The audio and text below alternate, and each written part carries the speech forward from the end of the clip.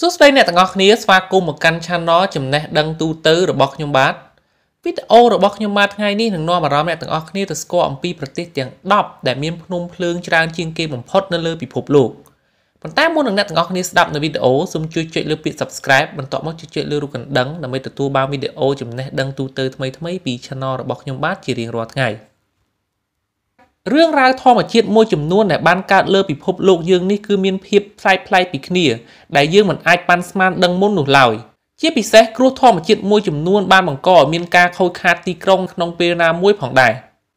សប្តាហ៍ថ្ងៃយើងសង្កេតឃើញថាមានភ្នំភ្លើងប្រមាណជា1500ភ្នំភ្លើងនៅលើភពផែនដីនេះដែលបានផ្ទុះនឹងកំពុងមានដំណើរការចាប់តាំងពី11500ឆ្នាំមុនមកម្លេះហើយក៏នៅតែបន្តរហូតមកដល់សប្តាហ៍ថ្ងៃនេះផងដែរ។ វីដេអូរបស់ខ្ញុំបាទថ្ងៃនេះនឹងនាំអារម្មណ៍អ្នកទាំងអស់គ្នាទៅស្គាល់អំពីប្រទេសទាំង10ដែលសម្បូរភ្នំភ្លើងច្រើនជាងគេបំផុតនៅលើពិភពលោកចង់ដឹងថាតើប្រទេសទាំង10នោះគឺជាប្រទេសណាខ្លះនិងមានភ្នំភ្លើងនៅទីតាំងណាខ្លះយើងទៅស្ដាប់វីដេអូទាំងអស់គ្នាទី10ប្រទេសមិចស៊ីកូ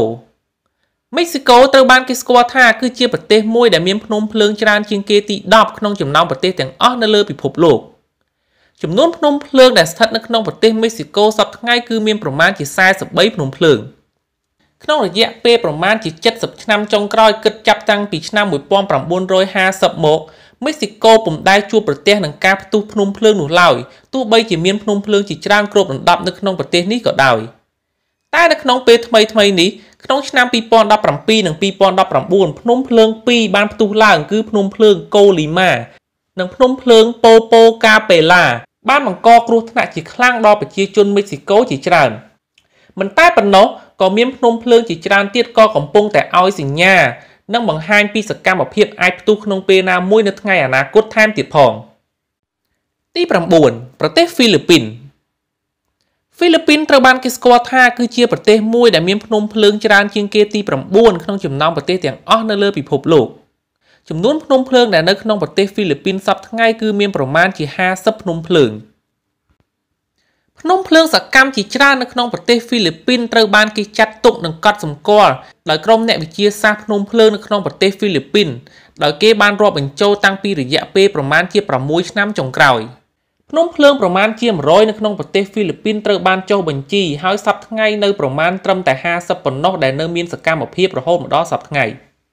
យើងសង្កេតឃើញថាភ្នំភ្លើងជាច្រើនជាពិសេសគឺភ្នំភ្លើងមេយុនដែលស្ថិតនៅក្នុងទីក្រុងអាល់បាយដែលជាភ្នំភ្លើងដែលមានសកម្មភាពផ្ទុះជាច្រើនលើកច្រើនសារនៅក្នុងប្រទេសហ្វីលីពីនជាពិសេសវាតែងតែបង្កគ្រោះថ្នាក់ដល់សត្វមនុស្សនិងធម្មជាតិជាច្រើននៅក្បែរក្បែរនោះបន្ថែមពីលើនេះទៀតភ្នំភ្លើងជាច្រើនដែលស្ថិតនៅក្នុងប្រទេសហ្វីលីពីនគឺមានរយៈកម្ពស់ប្រមាណជា2000ម៉ែត្រទៅ3000ម៉ែត្រដែលជាកម្ពស់មួយដ៏ខ្ពស់ដែលអាចមានសកម្មភាពផ្ទុះឡើងគ្រប់ពេល។ ទី8ប្រទេសប៉ាពូញូគីណេប៉ាពូញូគីណេត្រូវបានគេស្គាល់ថាគឺជាប្រទេសមួយដែលសម្បូរភ្នំភ្លើងច្រើនជាងគេទី8ក្នុងចំណោមប្រទេសទាំងអស់នៅលើពិភពលោកចំនួនភ្នំភ្លើងដែលស្ថិតនៅក្នុងប្រទេសប៉ាពូញូគីណេសប្តាហ៍ថ្ងៃគឺមានប្រមាណជា53ភ្នំភ្លើងផងដែរភ្នំភ្លើងមួយចំនួនដែលស្ថិតនៅក្នុងប្រទេសប៉ាពូញូគីណេសប្តាហ៍ថ្ងៃគឺជាភ្នំភ្លើងដែលនៅមានសកម្មភាព ហើយភ្នំភ្លើងមួយចំនួនទៀតក៏អាចនិយាយបានថាជាភ្នំភ្លើងងាប់ផងដែរជាពិសេសមានភ្នំភ្លើងមួយចំនួនគឺបានផ្ទុះឡើងតាំងពី2សែនឆ្នាំមុនមកម្លេះដែលវាហាក់បីដូចជាលែងបង្កគ្រោះថ្នាក់ដល់ប្រជាជនប៉ាពូញូគីណេទៀតហើយតែទោះបីជាយ៉ាងណាក៏នៅមានភ្នំភ្លើងមួយចំនួនទៀតដែលនៅតែបង្កសកម្មភាពនៅក្នុងប្រទេសនេះដែលបានកើតឡើងក្នុងអំឡុងឆ្នាំ1930រហូតដល់ឆ្នាំ1950ផងដែរ។ ជាពិសេសភ្នំភ្លើងកាដូវ៉ាដែលជាភ្នំភ្លើងមួយដែលទើបតែផ្ទុះក្នុងរយៈពេលថ្មីថ្មីនេះក្នុងឆ្នាំ2018បានបង្កគ្រោះថ្នាក់ជាច្រើនដល់ប្រជាជនប៉ាពូញូគីណេនិងផ្ទះសម្បែងរបស់ពួកគេផងដែរទី7ប្រទេសអេជូពីអេជូពីត្រូវបានគេស្គាល់ថាគឺជាប្រទេសមួយដែលសម្បូរភ្នំភ្លើងច្រើនជាងគេទី7ក្នុងចំណោមប្រទេសទាំងអស់នៅលើពិភពលោក។ ចំនួនភ្នំភ្លើងដែលស្ថិតនៅក្នុងប្រទេសអេជូពីសប្តាហ៍ថ្ងៃគឺមានប្រមាណជា57ភ្នំភ្លើងប្រទេសដែលស្ថិតនៅក្នុងភាគខាងជើងឈៀងខាងកើតនៃទ្វីបអាហ្វ្រិកមួយនេះមានប្រជាជនរស់នៅប្រមាណជា109លាននាក់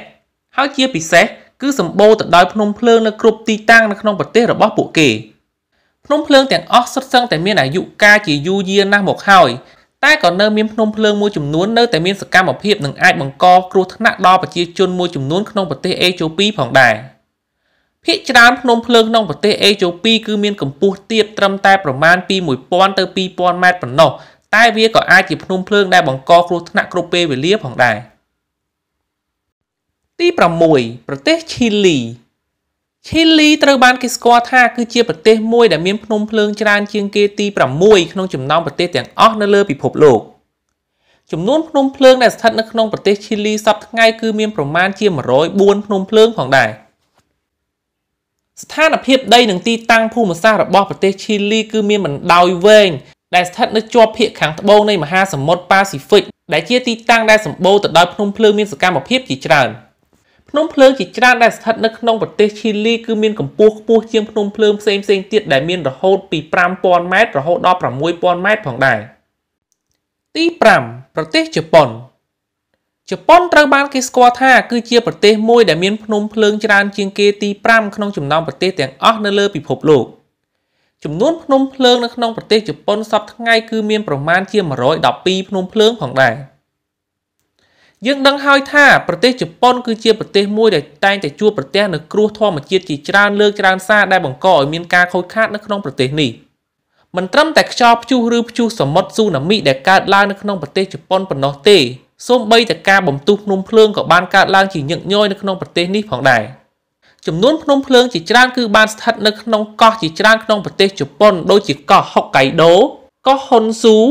កោះអ៊ីស៊ូកោះយូស៊ូនិងកោះជាច្រើនផ្សេងទៀតដែលសុទ្ធសឹងតែមានភ្នំភ្លើងជាច្រើនដែលនៅមានសកម្មភាពរហូតមកដល់សប្តាហ៍ថ្ងៃមូលហេតុទាំងអស់នេះហើយទើបធ្វើឲ្យប្រទេសជប៉ុនតែងតែមានការត្រៀមទប់បំរុងជាមួយនឹងការបំពុះភ្នំភ្លើងទាំងអស់នេះផងដែរទី4ប្រទេសអ៊ីស្លង់អ៊ីស្លង់ត្រូវបានគេស្គាល់ថាគឺជាប្រទេសមួយដែលមានភ្នំភ្លើងច្រើនជាងគេទី4ក្នុងចំណោមប្រទេសទាំងអស់នៅលើពិភពលោក។ ចំនួនភ្នំភ្លើងដែលស្ថិតនៅក្នុងប្រទេសអ៊ីស្លង់សប្តាហ៍ថ្ងៃគឺមានប្រមាណជា130ភ្នំភ្លើងផងដែរអ៊ីស្លង់គឺជាកោះមួយដែលមានកលាផ្ទៃប្រមាណជា130,000គីឡូម៉ែត្រការ៉េនិងមានប្រជាជនរស់នៅប្រមាណជា360,000នាក់ដែលស្ថិតនៅក្នុងទ្វីបអឺរ៉ុប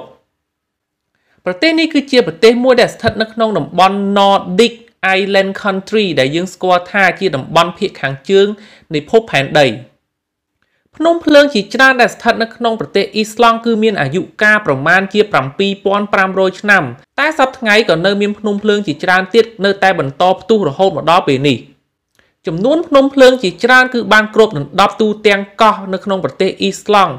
ជាពិសេសសូម្បីតែរដ្ឋធានីរបស់ប្រទេសអ៊ីស្លង់ផ្ទាល់គឺទីក្រុងរេចាវិកក៏តែងតែជួបប្រទះនឹងការផ្ទុះភ្នំភ្លើងជាច្រើនលើកច្រើនសារដែលបណ្ដាលឲ្យមានការខូចខាតទ្រព្យសម្បត្តិនិងជីវិតមនុស្សជាច្រើនផងដែរ។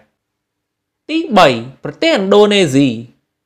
ឥណ្ឌូនេស៊ីត្រូវបានគេស្គាល់ថាគឺជាប្រទេសមួយដែលមានភ្នំភ្លើងច្រើនជាងគេទី3ក្នុងចំណោមប្រទេសទាំងអស់នៅលើពិភពលោកចំនួនភ្នំភ្លើងសពថ្ងៃដែលស្ថិតនៅក្នុងប្រទេសឥណ្ឌូនេស៊ីគឺមានប្រមាណជា139ភ្នំភ្លើងផងដែរ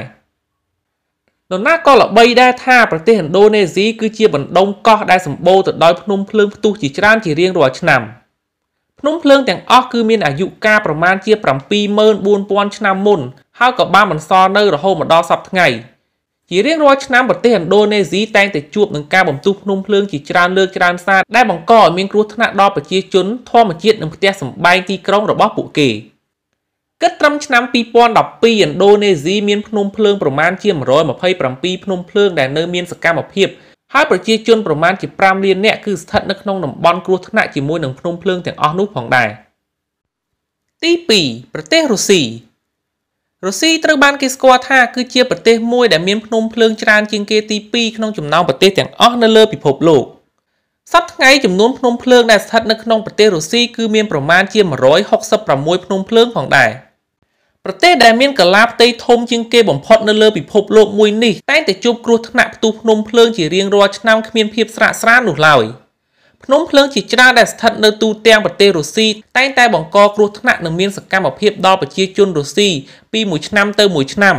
ជាពិសេសសប្តាហ៍ថ្ងៃគេសង្កេតឃើញភ្នំភ្លើងមួយចំនួននៅតែបន្តផ្ទុះហើយមិនទាន់បានបញ្ឈប់នោះឡើយទី1សហរដ្ឋអាមេរិក សហរដ្ឋអាមេរិកត្រូវបានគេស្គាល់ថាគឺជាប្រទេសមួយដែលមានភ្នំភ្លើងច្រើនជាងគេបំផុតក្នុងចំណោមប្រទេសទាំងអស់នៅលើពិភពលោក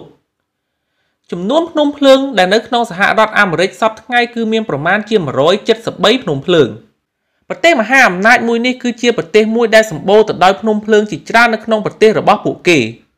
ទីក្រុងមួយចំនួនគឺសុទ្ធសឹងតែជាកន្លែងដែលមានបន្ទុះភ្នំភ្លើងចាស់ចាស់ហើយក៏នៅបន្តសកម្មភាពជាច្រើនរហូតមកដល់សប្តាហ៍ថ្ងៃជាពិសេស